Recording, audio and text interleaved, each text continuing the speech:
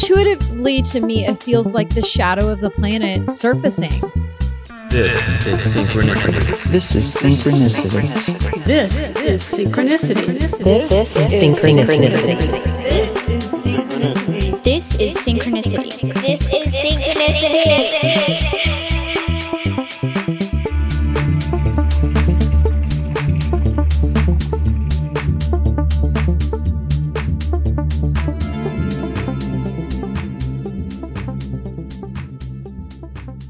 Welcome to episode 105 of Synchronicity. This marks the beginning of the third year of Synchronicity. We're going into the third year. 104 of these was actually a full two years, 104 episodes, 104 weeks. That's pretty nuts. Uh, this week, I have a really interesting episode because it kind of got fucked up. So, I sat down with Alyson Charles, aka Rockstar Shaman, uh, a few days before this event we did, Wellbeing in the Modern Age, uh, in New York City. She was a panelist, um, and we had a nice, lovely chat for about an hour. So, after our chat, I look down at the recorder and it's not recording. So we begin to freak out a little bit. We actually handled it amazingly, and you'll hear us talk about that at the end of this episode. Um, I'm a spaz. I usually freak out when anything like this happens, uh, especially if I feel like I've wasted someone's time. It really it does not sit well with me. Uh, but we handled it really well. We moved through it, um, and we recorded the end of it, and then I checked back, and oh, lo and behold, we did have the episode. All is well in the world.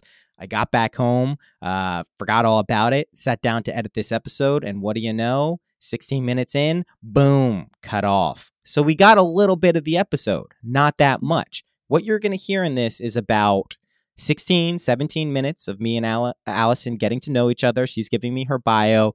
Then you're going to hear me come in again, explain that it got cut off. Um, and then you're going to hear about five, six minutes towards the end uh, about uh, some divine feminine energy stuff. Um, and then Alyson's practical tip and end of the podcast. So it's a really short, kind of awkwardly condensed episode. That said, um, I'm definitely doing another one with her. I've already reached out. She was such a sweetie when I said, hey, this is what happened. Um, just a wonderful human being. She's got an incredibly interesting story, um, too, which I really think uh, you get to hear a little bit of in this episode, but we're definitely going to delve into a little bit more deeply. Um, and also, I wanted to speak about a few other things related to this episode. One of the things that we covered in this, but you're not going to get to hear, is what is a shaman? What is the functionality of a shaman? What happens? What is done? Uh, how do you become one? Do you have to take ayahuasca? Do you have to do all this stuff? And the answer that Alyson gives, I think, is beautiful, which is no. You don't have to be involved in a certain tradition to be a shaman. A shaman who's someone who parses the unseen worlds that exist around us and translate translates what's going on back to the rest of us. So in that way, many of us are shaman, uh, shaman, shaman, shaman, women. I don't know what the fuck I'm talking about now. Uh, so this was a really interesting concept for me because I know some people are very sensitive to the idea of what is a shaman. You have to be from Peru, you have to be uh, in in Icaro, you have to be able to sing them. I don't really subscribe to that theory myself. I think that again, anyone who can take something from somewhere in the unseen worlds and bring them back and communicate them to the rest of us, that's a shaman. So I want to be clear that Alyson is not using plant medicines with her stuff. She is not using um, She's not steeped in some indigenous tradition. She had some experiences that kind of woke her up to some deeper levels of herself in the world, and she's using that to kind of speak authentically uh, with her own voice. And that's these are the type of people I love the most in the world. Normal people who have had paranormal or abnormal or crazy experiences, but who are able to integrate those two aspects of themselves. And we know we have the persona that we're constantly putting up, and this is who we are into the world, but we also know that's not really who we are. There's other aspects of ourselves, there's deeper aspects of ourselves, and trying to hold those two, the persona and our deeper self, um, is, so it's what life is about, right? It's a challenging thing, too. So, Alyson, really just a wonderful person with that said, I want to shift gears a little bit and talk about we've had some crazy fucking things going on, right? We've had natural disasters, earthquakes, hurricanes. We just had this Las Vegas thing, um, you know, the shooting that took place. So I'm going to take a minute to talk about that. So it's been a while since I've chimed in on any global or political or just stuff going on in the world events. Um, I figured since this is a shorter episode, I could uh, do a little bit of that here. Uh, This is all offered and said, not that I have answers for this stuff, um, but an approach that has worked relatively successfully for me related to global catastrophes, suffering around the world, um, things that are just hard for us to wrap our heads around, right? Like global disasters, national uh, natural disasters. Um, this event that took place in Las Vegas, where a guy, you know, shot and killed over 50 people and injured uh, 500 plus. Just like there's, we don't have really skills to interpret these events typically. Um, so what all I all I wanted to speak about related to this stuff is.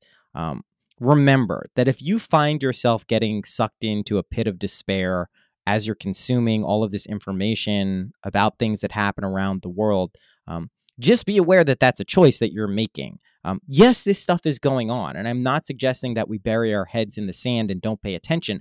I actively read the news almost every day, um, but I do that because I don't walk around afterwards angry, upset, freaked out. Um, I've spoken about this before. I don't think it's some amazing skill that I have. I think it's just I have my own issues and my own personal life and relationship lives that I, those are my priority. I can't take on how shitty of a person Donald Trump is in my psyche. I just can't take that on. I can look at things he does, like throwing paper towels to people with a smile on his face in Puerto Rico, and be like, "Holy shit, the fuck is the matter with this guy?"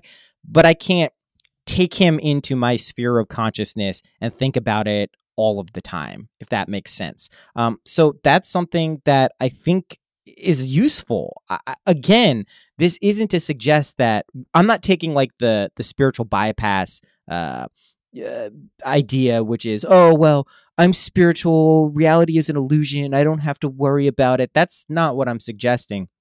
What I'm suggesting is is find the balance between knowing what's going on and your own mental health right? And psychological health and spiritual health. These are really important things to do because I get messages from people saying, like, how do I deal with the immense suffering around the world? I've opened my heart, you know, something has happened, something has changed, the veil has been lifted, and now I feel everything so fucking hard. And I've been there. That that happened to me back in the early 2000s, mid 2000s. So I know exactly what that feels like, and it can be overwhelming. I often will tell people who are coming in contact uh, with, you know, latent psychic abilities or empathic abilities where they walk into a party and they feel the energy of everyone around them. And sometimes they can even hear thoughts or catch on thoughts that other people are thinking, which I know can sound a little crazy, but this shit happens. I'll, tell them to, I use the metaphor of a psychic shield.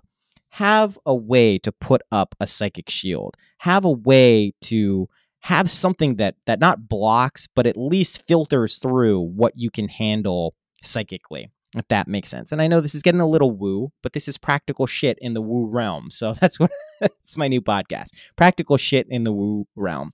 Um, but really, just be aware and mindful of your own emotional, psychological, and spiritual states as you go out into the world. That includes your immediate relationships um, and the news, quote unquote, information that we see around us.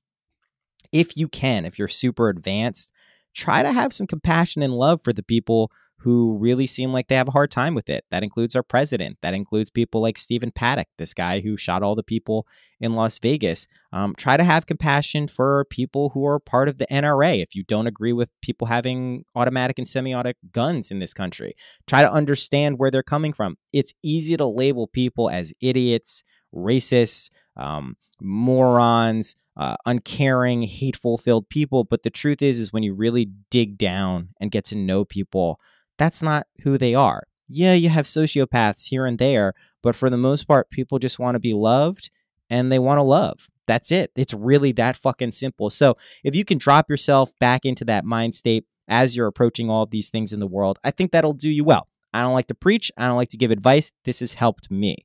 Uh, so yeah, that's it got a little off track there. Thought it was worth mentioning because I see just everywhere online, people freaking out and taking this stuff really hard.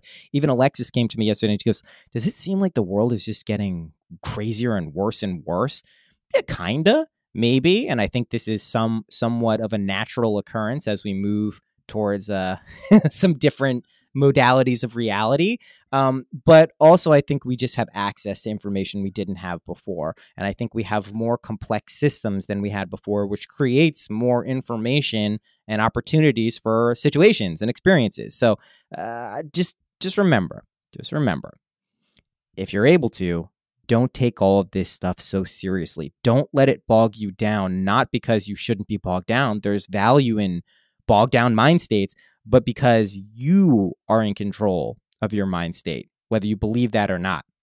It's taking me a tremendous amount of time to realize that even when I'm rage filled and angry and screaming, I still have some aspect of control over what I'm doing. So you do too. That's what I'm saying. All right, I've rambled on enough. Uh, Alyson Charles, please go check her out at AlysonCharles.com. She is a shaman, she is a speaker, she is a healer. And more importantly, she's just a real person doing real shit. I sat down with her, I looked her in the eyes. That's the beauty of doing these podcasts. You can sense what people are really about when you're right there with them. And she's just a wonderful, beautiful person. So please enjoy this episode. Apologies that it's a little, a little weird because it got clipped at 16 minutes, but I think you're going to love it. I have some amazing episodes coming up keep the support coming with reviews, ratings, donations, Patreon, new music coming soon. I know I've been saying I have an EP coming out uh, this fall. Uh, I've been saying October. I'm sitting here October 4th. I'm still shooting for October, but it might be early November. What are you going to do? Got to do shit. Got to get these songs out. Got to get them out right. So it will be happening. Rest assured.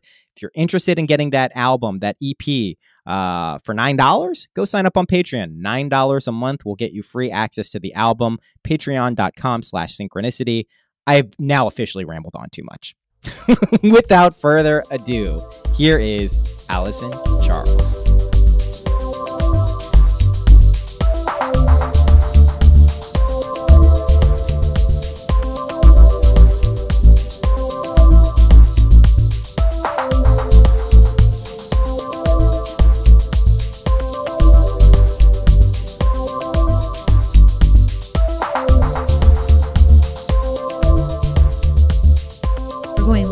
Doing Living Marketplace. Hello, everyone. How This- are you? This place really is amazing too. It's really got a nice vibe to it. Thank you. Yeah, it's really cool.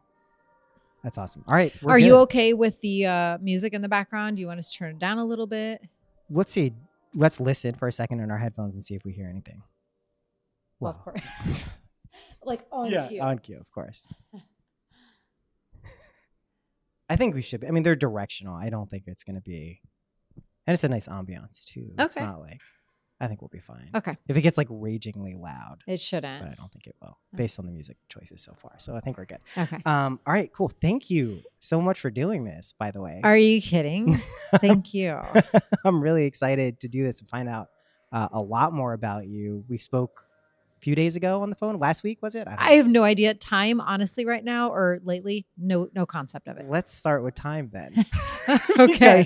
I was just having a conversation with one of my friends um, where we are talking about like relating to other members of the family. And I'm pointing out I was just at a bat mitzvah with my family, and some of that family, they're Trump supporters. Oh. They're not oh. my they're my wife's family. No, I don't think anyone in my family, but they're really nice people. They're like incredibly nice. right. and they're from Houston. And Harvey had just happened, and a question was asked, like, how, why would God allow something like uh, Harvey to happen in this place? And they know people who are like, their homes are gone, no insurance, Mhm. nothing. Mhm. And I shifted the conversation to suffering and the function of suffering, and then at some point it got into time, and I was like, yeah, Mm. time's an illusion; it's not a real thing. And this it got real weird. Oh. Then it was like, luckily. The appetizers were done. We went into the party, so we got a nice. There was an easy transition away from the no, the time is not real conversation. yeah, yeah, exactly. time does not really exist. But let's and I just had another one with the, the cab driver. So let's start there. Like what let's let's not let's not jump right into the deep end, Alyson. I want to find out a little bit more about you because I know you've had like a really interesting life to date through a lot of different personas and just places in the world. So Mhm. could you give like a nutshell kind of like who who are you? right. Yeah. Who am I?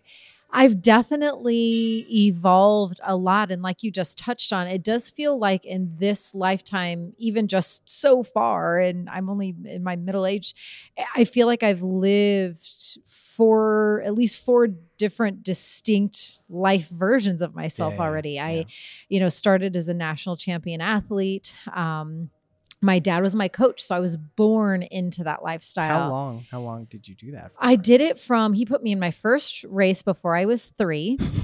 There's picture proof. Like I'm running, waving, wearing little blue Nike running shoes. yeah. And uh, and then I ran all the way through college. I ran for the University of Alabama. And I was a distance runner. Mhm. So from three through 18, you know, It's a lot of it was intense. It was a lot of training, a lot of twice a day Yeah. training, pounding the pavement.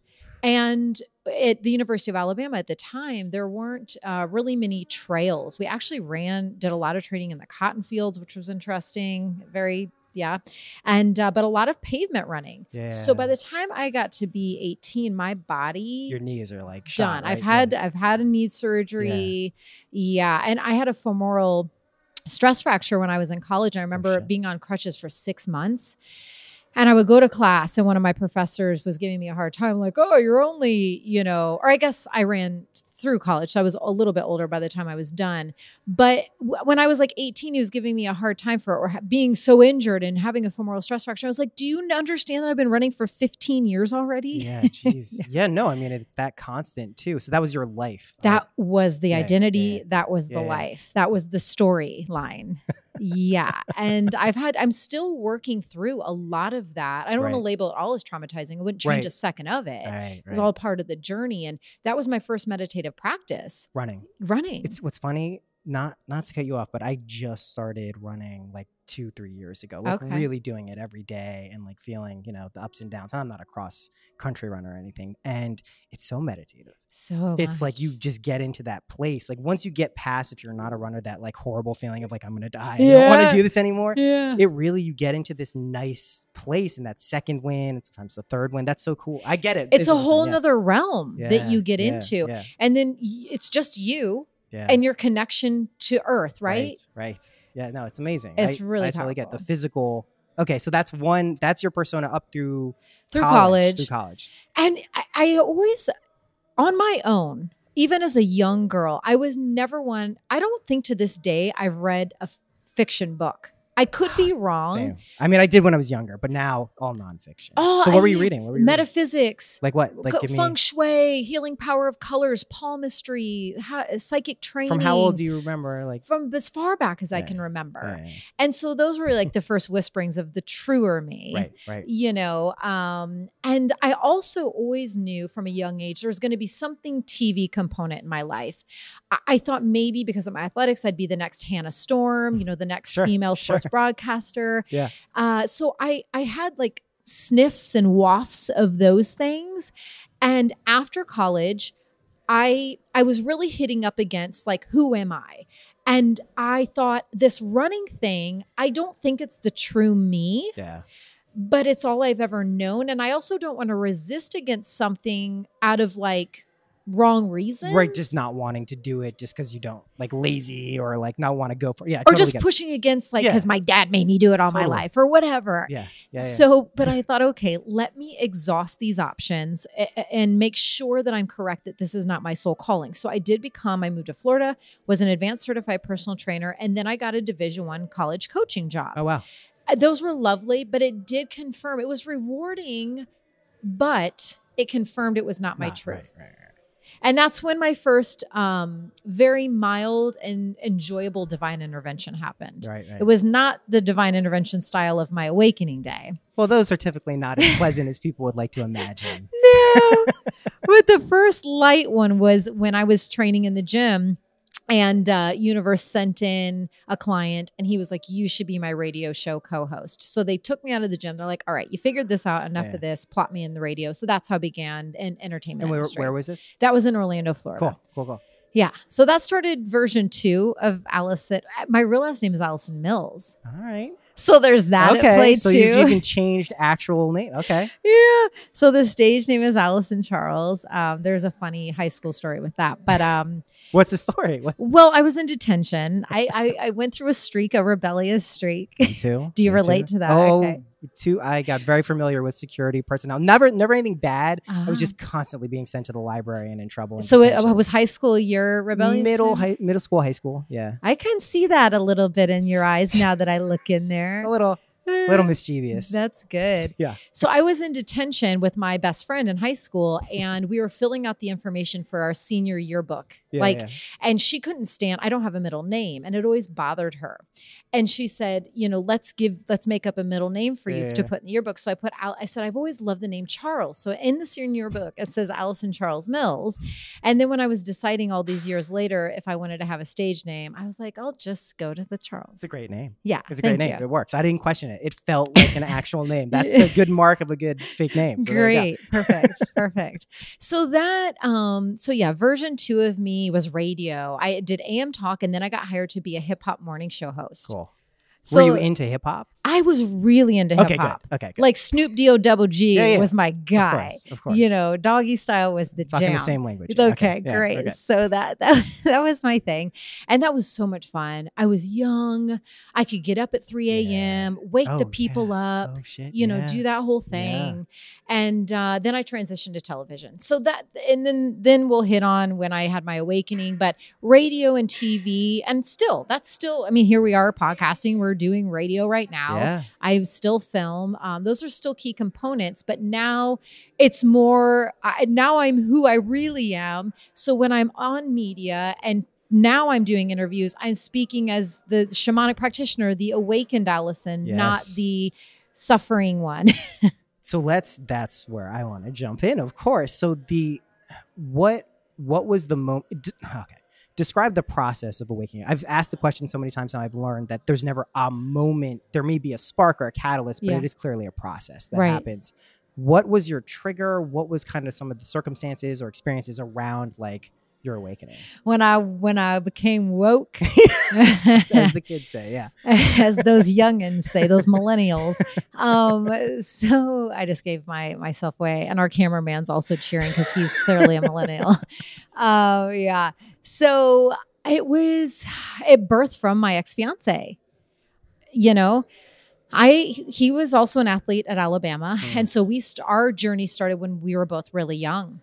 Yeah how, And- how old like Well, my first day when I was literally sitting um, outside of the training room, lacing up my running shoes Oh, really? for my first day of practice, was wow. when he walked to go to the baseball locker room, and that's where the story begins. So we were together for a long time, yeah yeah, yeah. like sixteen plus years. oh holy Oh, oh, that is a long time Yeah. that's like a really really long time yeah. so long. There was a pocket in the middle where we weren't together when I moved to Florida. We were still uh, in connection, Yeah, but not in relationship. yeah wow but still doing the journey. And um, so yeah, it, but that it worked up to a point we were engaged, you know, progressing, owned a place in Connecticut, all that stuff, and it all boiled down to the suffering all all together in the relationship as a whole in myself and him it was just continuously rising. Mm.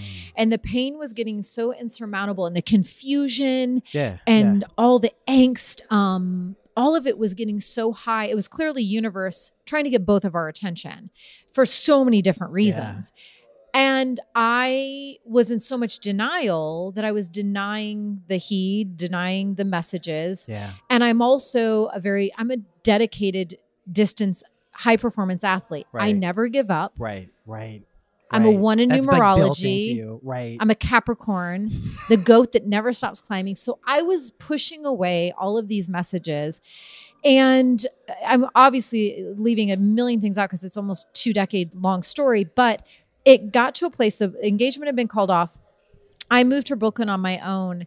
And a few months later, we were going to give it another go, round number well, I mean, whatever. yeah, make, you say it like exhaustedly, but it obviously makes sense in the context of everything. That's Yeah. a long. Thank you. That just doesn't just like.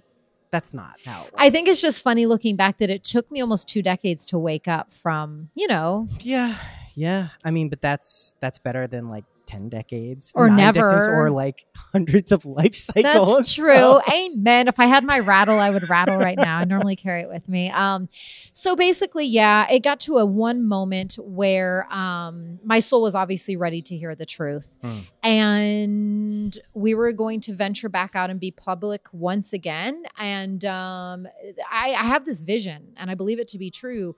Uh, they called in universe source was like calling in all the archangels all my animal totems like all the guides were like all right you guys we all got to get together. We got to put a stop to this. We're not letting her walk out the door. I could feel them all coming in. And um i became clairaudient for the first time in my life. Cool. uh yeah uh, th- this voice told me to stop and turn around. I looked and i saw his phone sitting on my bookcase which he never goes anywhere without and this force truly pulled me over to the phone and the voice said to me, Brace yourself because what you're about to see is going to rock your world. And here's the other trippy thing I didn't know his code. I was not one of those people. Yeah, yeah. it was like you. automatic spirit writing. yeah. Punched in four yeah. numbers, ping, Yeah, yeah. saw what I needed to see. Yeah. Horrific. Of course. You know, Yeah, yeah, that yeah, moment designed to wake me up. Yeah. And it did. And in that moment, um, the veil lifted and I and I became awakened. And eh, eh, eh, in long story short, I had to ask him to leave. The relationship was done. I I was horrified. I had to tend to a lot of things based upon the information that I had received. And then I decided to fly to Indiana, where I'm from, to be with my family. And it was during that time when the clairvoyance instantly, a lot of my gifts instantly came alive That's awesome. and they were showing me my life and my journey with him and things about myself without any of the illusion or denial or falsity anymore. Uh, everything was with light. That's awesome. So I was just like shell shocked for a few days. few days. That's not even that long. Yeah, that's not- true. that's really not even that long considering. So everything came at once. So describe. Okay, that's obviously like a very intense way to have things happen. Yeah. Because I mean, it sounds like what happened is you had this narrative or picture of who Alyson was as a person. Yes. And that had maintained even through Rocky, taking all the hits, getting up, still doing it. It had maintained up into a point where it just got shattered. yes. So ego is basically like paralyzed for a split second. Stuff starts to sink in, and it's like, oh shit. you got it. All right, I get it. So then all this stuff starts downloading. You start getting access to what you know people would call siddhis back in the day. Yeah. Um, You know what was so that that period? How quickly did it take you to come to terms with? I had similar things happen to me, and I know a lot of other people have had those experiences. Mm. And there's ver- there's a spectrum, right? Mhm. Some people accept it. Some people fight it. Some people think they're going insane Yes. like lots of people. Carl Jung thought he was going insane. Like he Yeah. was the preeminent Well, psychologist. yeah. can, remember yeah. where you're at, but I still have those moments. Yes, of course. That's that's see, that's the key right there, and this is why um, I'm really happy we're meeting and you're a part of this event that we're doing because it's incredibly important to remember that we're still going through this stuff. When we say that we had an awakening moment or something happened, it's not like oh we're enlightened. We've hit mystic level master mm. 99 I will teach you. that's not what it's about. But what I think is happening, and you can correct me if I'm wrong. I mean, this has been my experience over the past decade plus. More people seem to be kind of tuning in to what's going on, whether question. it's these powers or things that are happening or events in their life that push them towards something or awaken them in that sense. It seems like the communities are now starting to coalesce a little bit. One hundred percent. That to me, I mean, you have this. We're in this lovely space here. Thank that you. like this is this is seeming like it's happening right for real so what was it like when this stuff started happening to you like you didn't go hmm. overnight right from no. right hip hop I know I say that sometimes at my events. I'm like from hip from hip hop radio host to Right. shaman. right Yeah, it was definitely a process. Like I, I- it was an it was an instantaneous awakening in the sense that like in a one moment in time, I hmm. became awakened. The Right. veil lifted. I was clairaudient. I was clairvoyant. However, the conscious reconnection to and the remembrance of the shaman in me and my mission here on earth that took. I- Again, I can't Yeah. totally remember, but th- I think that was like a year and a half sounds to to you know and some change because i just when i saw the truth of who i was what i was clear on is holy shit alyson So I mentioned in the intro, this is when the recorder cut out, unbeknownst to me and Alyson, and we're having a lovely conversation. She's telling me about uh, how she acknowledged herself as a shaman, some of the experiences she went through with clairaudience. Uh, it was pretty much like one of my favorite conversations. We were actually remarking as we were doing it how awesome it was, and I don't have it. So we're gonna pick up after Alyson and I uh, A realized that it hadn't been recording, then realized we had gotten it.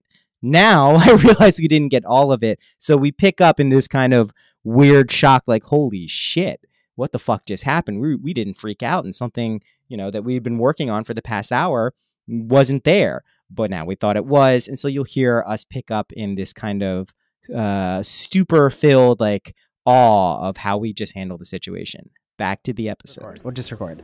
And it's recording. okay, we're good. well, we just got through that. We did handle that really, really, really well. Re- I think like is I yeah, I think in like a 9 out of 10. I mean, I think 10 out of 10 would have just been unaffected. Maybe No problem. know. Just moving on. No, that's as close to a 10 as you can get. I'm pretty confident of that. And I usually, just to be clear, do not handle situations like that very well. So I normally not as solid, but okay, okay. We rode some waves together. We Ah, just had a bonding moment. Very, we did. This is, and it's just, you know, it's emphasizing how awesome this one was. So I don't know where we left off, but the reason I was checking. oh, it was like the ancient women golden thread. yes, thread. yes, yes, yes, yes, yes, But- yes, yes. Let no, let's pick that up because it's worthwhile.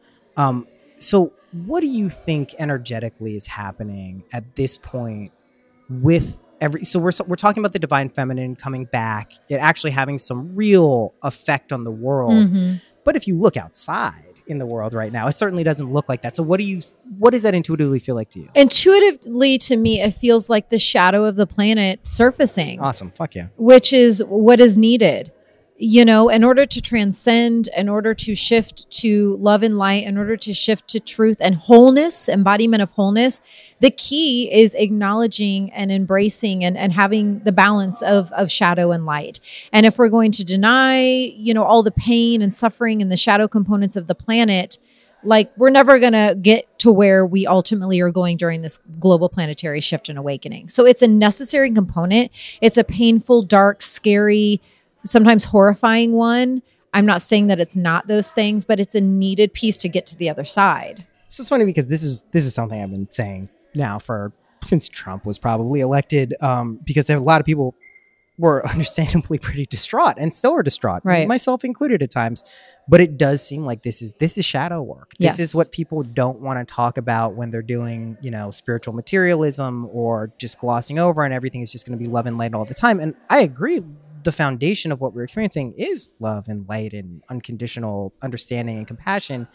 But we are here for a reason Yeah. and we do have to go through these kind of oscillations of up and down and if we didn't what would we really be doing we wouldn't be dealing with the stuff we're supposed to so We're, yeah, we're just seeing more in our face the, the pain and the things that have been in existence Exactly. for thousands of years. exactly But now we're being confronted with it. And that's the only thing that catalyzes change. I think so. I mean, it's hard to. That's why mindfulness is such a big thing now because that gives you the attention towards the things you should be looking at, yeah. which then gives you the opportunity of taking some action in that direction. All right, we're gonna. we could literally talk about this forever, and yeah. I although I'm I am glad we don't have to re-record the whole thing. Oh, that would have been exhausting, but we could have done it. We could have done it. I know that. So I have three questions at the end and then one little question at the end. Uh, so what's your favorite color? Purple. What's your favorite number? One. What's your favorite animal? Well, it's weird. Mm. It was almost like a simultaneous, like, my mouth wanted to say panther because that's my animal totem, but tiger wanted to be vocalized. Tigers. Tiger it is. We're going with tiger. Okay. Uh, last question. What's a practical tip you could share with people listening that's helped you in your life? Hmm. I mean, maybe what I just did, breath. Do you want to hear something funny? Yeah. That was literally the last suggestion. I've asked this now 103 times. That was the first time was an episode ago, episode ago that someone said breath, and you just said it. Huh. So yeah, breath and breath work. It's it's our life force. It's prana. It's what returns you back to the present moment when you close your eyes and reconnect and just take a centering breath. Um, that's truly where our power is. It's what moves and can shift out um, old energy that needs to to to go. It's what creates space for new to come in. It's what cleanses and clears our chakras. It's everything. So breath. I love it. I love Alyson. Thank you so much. Oh my gosh, thank you. And I'm so glad you were able to come in here today It's and like experience this. And if anyone wants to come, um, it's in the middle of Manhattan doing Living Marketplace. And I'm doing Awakening 101 every week. And I've got events going on all the time. I would love to meet your listeners. I'm sure they're most amazing They're people. pretty awesome. I just Yeah. met a few the other week. They're really cool people. awesome. Yeah, awesome. Thank you so much for doing this. Thank you. Divine blessings.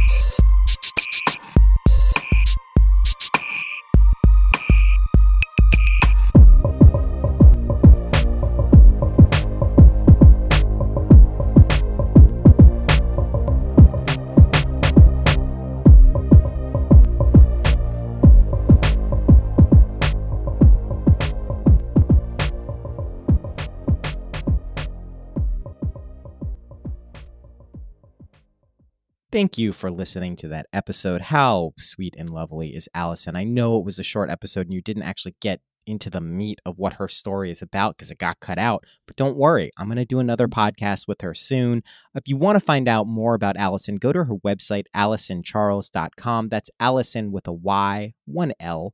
Uh, and she's doing actually tonight, Wednesday, October 4th, at Doing Living Marketplace in New York City from 7 to 8 p.m. She's doing a sound bath and a group healing. They're also going to be doing prayers uh, for the Las Vegas tragedy that just happened and Puerto Rico and a lot of stuff.